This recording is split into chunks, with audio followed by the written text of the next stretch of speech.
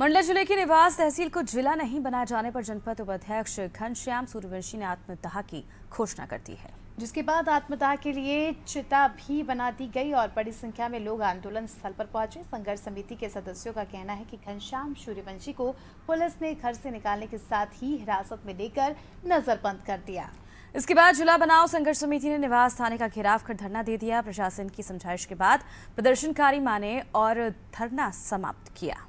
इस दौरान काफ़ी देर हंगामा चलता रहा। आत्मदाह की घोषणा को देखते हुए निवास में भारी संख्या में पुलिस बल तैनात था।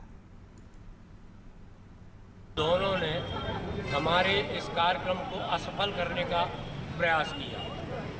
जनपद उपाध्यक्ष घनश्याम सूर्यवंशी ने पूर्व अनुसार जो घोषणा किया था, उसमें आज उनको शाम चार बजे आत्मदाह करना था। क्योंकि न सरकार सुन रही, न शासन, न प्रशासन निवास को जिला बनाने की मांग 30-40 साल से चल रही है, जिससे क्षुब्ध होकर घनश्याम सूर्यवंशी ने आत्मदाह करने की घोषणा किया था। जिला बनाओ संघर्ष समिति के बैनर तले श्री घनश्याम सूर्यवंशी जी द्वारा आत्मदाह करने की घोषणा पूर्व में की गई थी।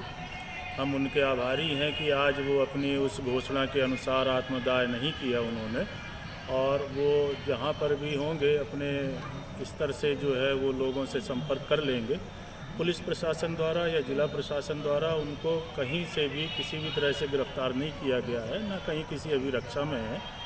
हम भी प्रयास कर रहे हैं कि हम उनकी अन्य लोगों से बात करवा दें। विफल नहीं किया गया है।